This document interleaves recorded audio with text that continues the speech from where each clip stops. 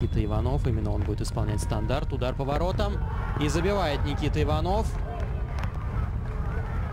1-1.